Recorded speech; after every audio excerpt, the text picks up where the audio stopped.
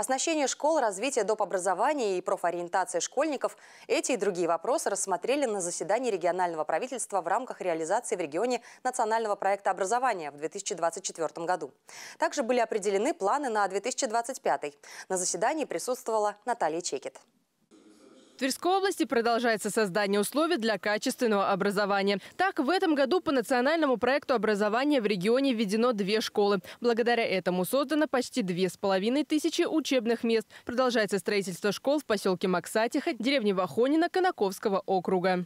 По направлению э, приведения нормативного состояния материально-технической базы э, системы образования Тверской области идет э, большая работа. Идут ремонты школ и города Твери, и в муниципальных образованиях. Также у нас идет ремонт спортзала в Нелидово. В регионе продолжается открытие образовательных центров. В этом году начали работу 56 точек роста. Всего в Верхневолжье их действует более 300. Еще одно направление реализации нацпроекта – подготовка специалистов в отрасли образования, повышение квалификации квалификации учителей. Региональные власти уделяют особое внимание развитию образования на селе, привлечению на эти территории педагогов. В этом году участниками программы «Земский учитель» в Тверской области стали 15 педагогов, которым предоставлены единовременные выплаты в размере 1 миллиона рублей. Они работают в школах Андреапольского, Зубцовского, Кувшиновского, Калининского, Конаковского, Киморского и Удомельского округов. Идет работа по э, кадровому обеспечению. У нас есть два направления. Это медицина и образование, где у нас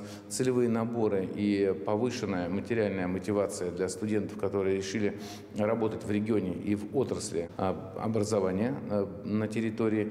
И э, сегодня, наверное, одной из ключевых задач стоит обновление материально-технической базы наших образовательных организаций в районах. Мы сегодня видим желание молодежи и учиться, и желание молодежи Э, работать в системе образования э, в качестве учителей.